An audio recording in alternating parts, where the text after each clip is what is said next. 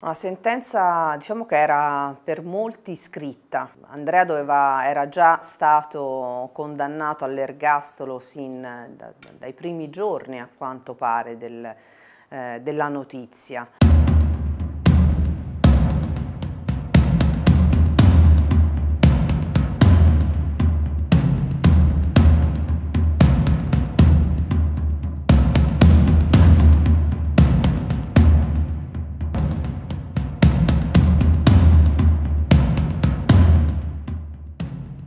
Appena entrata alla corte ho chiesto immediatamente al presidente di autorizzarmi a entrare nell'acquario insieme ad Andrea e lui non aveva capito.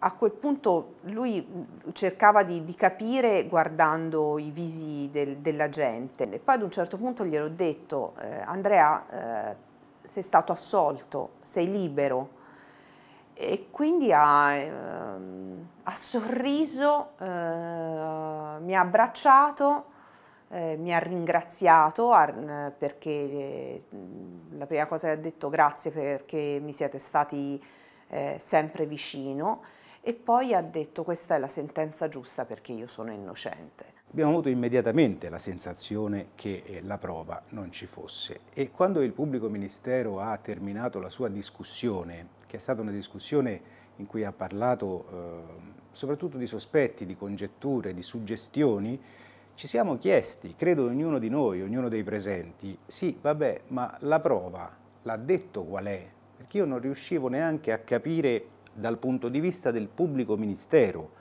quale fosse secondo lui la prova della colpevolezza di Andrea.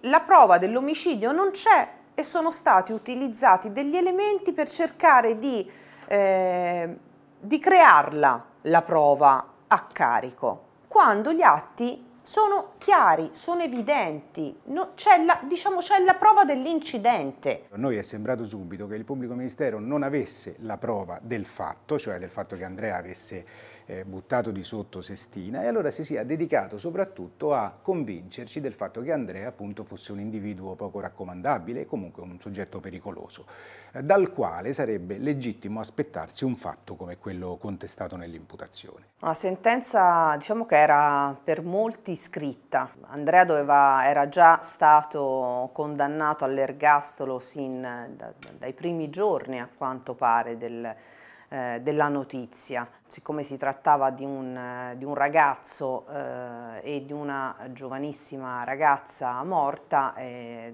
doveva essere morta solo ed esclusivamente per mano di un omicida. Sembra che gli incidenti non possano, non possano accadere in questo, in questo momento storico.